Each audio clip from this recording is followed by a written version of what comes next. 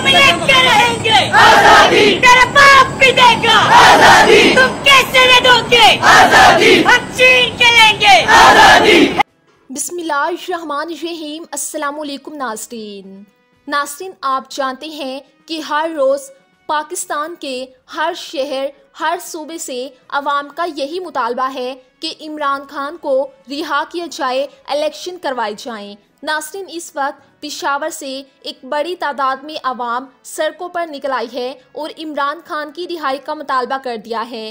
नासरीन, अब कहा गया है कि फरवरी के महीने में इलेक्शन होने जा रहे हैं, लेकिन इस आवाम का ये भी मुतालबा है कि इलेक्शन से पहले इमरान खान को रिहा किया जाए। नासरीन, आपको बताते चले कि हर रोज़ पाकिस्तान के हर शहर से आवाम सड़कों पर आ रही है और इस वक्त पिशावर से एक बड़ी रैली का आगाज़ कर दिया गया है। वीडियो इस वक्त मंजरे आम पर आ गई है। ये वीडियो आप भी देख लीजिए। आज़ादी। आज़ादी। तो ममता बोली, आज़ादी। से पूछा, आज़ादी। तो इज़्ज़त